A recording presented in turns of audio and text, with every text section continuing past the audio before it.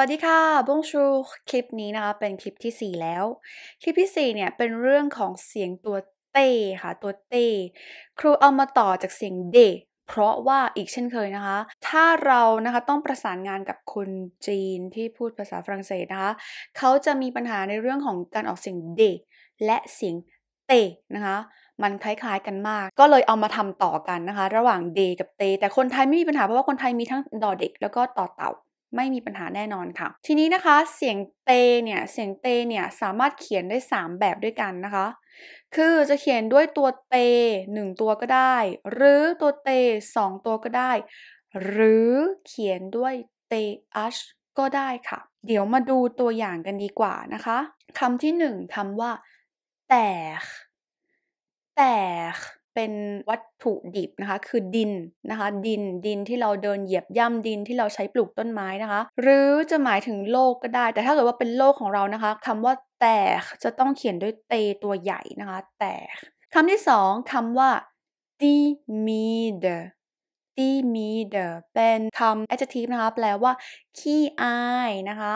e l e timid เขาเป็นคนขี้อาย คำที่สามนะคะคำว่า vite vite นะคะ แปลว่าเร็ว เร็วนะคะคำที่สี่ tarte tarte นะคะ อันนี้ก็คือเป็นพวกขนมพายนะคะ ตาร์ตพายอะไรอย่างนี้เนาะคำที่ห้านะคะคำว่า tête tête นะคะ tête tête นะคะ แปลว่าหัวมาต่อไปเราจะมาดูตัวอย่างนะคะคำที่เขียนด้วยเตสองตัวติดกันคำว่า attendre ตองเขียนเตสองตัวแต่เราออกเสียงเตแค่ตัวเดียวนะคะ ออกเสียงอะก่อนแล้วค่อยออกเสียงตองอะตองอันนี้เป็นคำกริยานะคะ แปลว่า รอนะคะรอคำที่ 7 คือคำว่าอะตองสิ่ง attention attention นะคะคำนี้เป็นคำนาม แปลว่า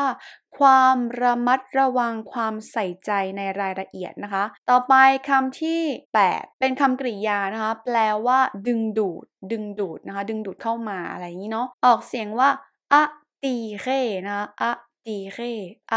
tirer a tirer ต่อมานะคะ เสียงตัวเตเนี่ย ที่เขียนด้วยเตอชนะคะ ก็มีเยอะมากเลย โดยเฉพาะสัญชาติไทยนะคะไตลองเดเขียนด้วยเตอชแต่ออกเสียงตัวต่อเต่านะคะตัวเตไตลองเดไตลองเดไตลองเดนะคะ ต่อไปคำที่ 10คำว่าเต เตนะคะ คุณดื่มชาหรือเปล่าคะ เตนะคะเตอัชเขียนด้วยเตอัชแต่ออกเสียงเตคำที่ 11 นะคะ โตมาโตมาโตมานะคะออกเสียงต่อเต่า ถ้าเป็นภาษาอังกฤษเราต้องออกเสียงว่าโทมัสโทมัสออกเสียงเป็นทอทหารโทมัสโทมัสแต่นี่คือเป็นชื่อคนฝรั่งเศสด้วยก็ออกเสียงว่าโตมาและคำสุดท้ายนะคะคำที่ออกเสียงเตนะคะ แต่เขียนด้วยเตอัชก็คือคำว่าตรง ตรงเนี่ยก็คือปลาทูน่านั่นเองค่ะ โอเค ก็คลิปนี้จบแล้วนะคะ หวังว่า ทุกคนจะชอบการได้เรียนรู้คำศัพท์ สนุกสนานได้เรียนรู้วิธีการออกเสียง เรียนรู้วิธีการเขียนคำด้วยนะคะ ก็หวังว่าจะชอบเนาะถ้าชอบอย่าลืมกดไลค์กดแชร์กด Subscribe ให้ปนโยด้วยนะคะ